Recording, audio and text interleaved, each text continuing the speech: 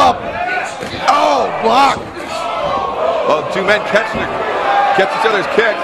Who's going to drop the leg first? I wouldn't drop the leg at all. No. I, you know what? I punched the other guy in the face. Exactly. Right in the nose. Karate Kid reference. Yeah. Sweep the leg.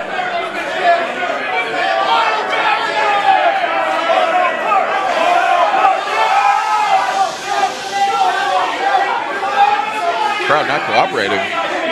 Very vociferous here at Reseda. What's that word? I always are the big word, vociferous. Vociferous. They're vocal. They're loud. Is that a venereal disease that I don't know about? Oh no! They had agreed to drop the legs on three. Neither man did it. I wouldn't do it. Not an unexpected stalemate here between these two.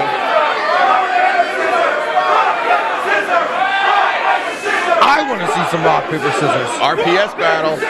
I always pick rock. How to beat you. always pick rock. Every time. Rock, paper, scissors, rock every time. Let's hope your Iron Man match doesn't come down to rock paper scissors because I think Adam, uh, Adam Cole has a, a two out of three chance to beat you. And they did rock, paper, scissors. Both went. Oh, double paper. This is getting this is getting extreme.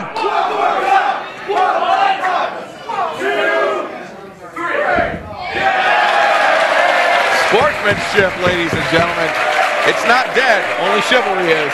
See, when I put the leg down, I would kick him right in the face. Oh yeah. Oh, right there.